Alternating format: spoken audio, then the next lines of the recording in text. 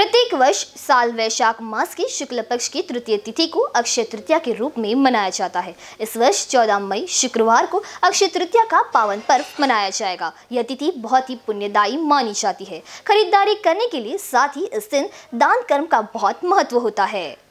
अक्षय तृतीया पर किए गए दान से अक्षय पुण्य की प्राप्ति होती है। शहर में यह पर्व सादगी से मनाया जाएगा। कोविड संक्रमण के कारण मंदिरों में पूजा पाठ नहीं होंगी। श्रद्धालु घर में ही पूजा करेंगे। इस दिन नए घड़े का पूजन भी किया जाएगा। भगवान से सुख समृद्धि की कामना की जाएगी। कैमरा पर्सन राजकुमार मोर के साथ अभिषेक पानसे, पीसी न्यूज़ नागपुर।